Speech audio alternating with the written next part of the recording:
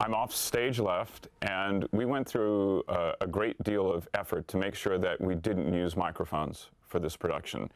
And Maestro originally said, I want a megaphone. I want some sort of big megaphone. And so we were working with megaphones. We had a couple of, of rehearsals. Um, and then someone, I, you know, I really don't know who was who had the great idea, but one of the props guys sawed off an old uh, Hollerphone um, the bell of a hollerphone, about this much of a hollerphone, and put it on a stand. And it's so much better than, than a megaphone because a megaphone is slightly constricted. So the opening is about that big. And I, I, I can get I can get my mouth in there and also part of my nose. And, and with it being an instrument bell, you get a, a different sound than a, than a megaphone.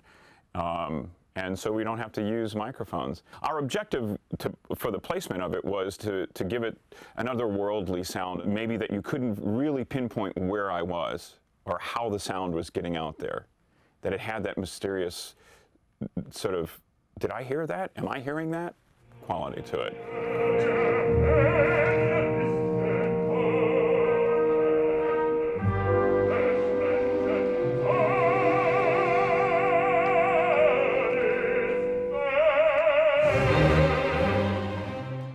Actually, I have the very first head that was, was cast uh, from my face. And that was in Scotland, was the very first time that I did it with Scottish Opera. And they gave me the head. And so I used that for many years. Um, but it, it, with, with it, uh, with techniques not as good as they are nowadays, it's started to degrade. And so um, we've had to make a cast of new heads. So uh, the one that we're using here is from the production of Salome that I did in Santa Fe. Um, and that process is, is actually a, fun process. It's a lot easier than the first one, which they basically poured plaster on my face to get it. Uh, this one, they use the material where they uh, take impressions of your teeth.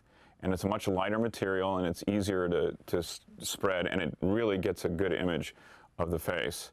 Um, and the other one is in Vancouver. I had another one cast exactly the same way. So there are a couple of, couple of heads floating out there that, uh, that are ready to be used at any moment.